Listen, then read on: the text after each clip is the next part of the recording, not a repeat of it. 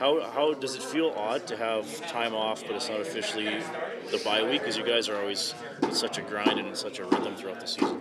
Yeah, like it's kind of like you play a game and you're always getting ready for next. You go to bed and it feels like it's game day right away. Uh, and now you kind of get to really, like I said, take a mental break, uh, think about something else, and, and, just enjoy some some days off. And uh, yeah, now get some good practice in, which you don't get too much of either. And yeah, but now I feel like you're turning the page and get get ready for Wednesday.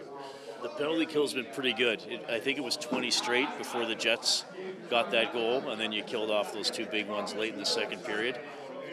You're a big part of the PK. What do you think is why it's been so successful lately? Uh, I don't know why exactly at the timing, but I think you always go through stretches uh, during the year where you're you're like confidence is a big big thing in the penalty kill, both from the goalie, the players. Uh, you're just confident in what you can give up, and you know where you're, where you're going to get the saves from. And then you'll also go through slides where it feels like whatever you do, the puck ends up in the in the back of your net. And we're kind of on one of those confident hot streaks right now, and uh, I think to keep that going, you really got to bear down on the details. Sometimes those slip because you you rely on the goaltending or whatever. Uh, but yeah, like like you said, we got scored on last game, so now we got to get back to, to the details and, and look what we can do better. So, what makes a good penalty kill in your mind? I mean, you're you're pretty good at it. What would you tell people is the, the secret to being good on the PK uh, as a forward?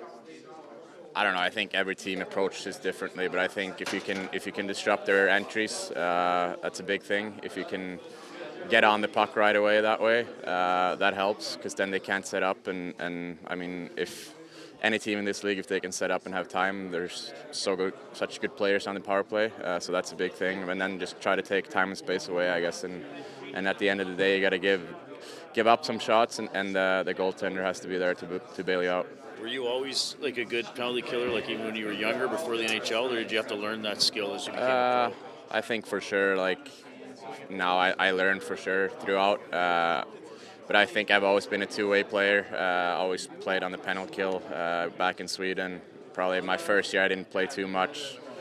Second year I was playing both, and then kind of uh, as the years wore on, I, I think it's been more uh, a clear role on the penalty kill. So I mean, it's something that you can really, really hang on to, and, and something uh, that I take pride in now for sure. It's a way to get ice time, right? If you're on a yeah. team with a strong top six. For sure. Yeah.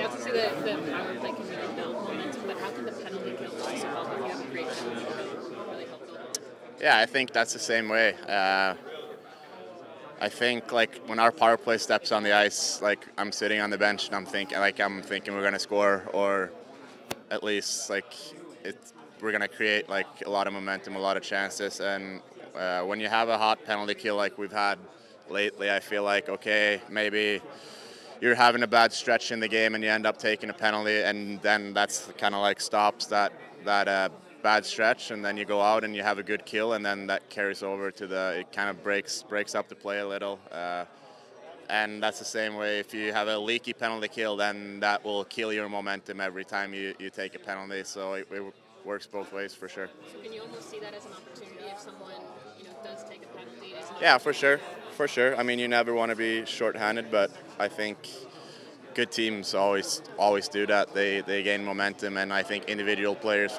like for myself, when if I'm having a pretty uh, dull game and, and I can get out on the penalty kill and have a good shift, I can turn the game around, and I think that goes into the team team play a little bit too. Close were you on that breakaway shot against Hellebuyck? Uh, not too close. The puck was rolling, uh, rolling the whole way, so I was just kind of trying to get a shot away, so I couldn't really get it to settle. Uh, but have him next time.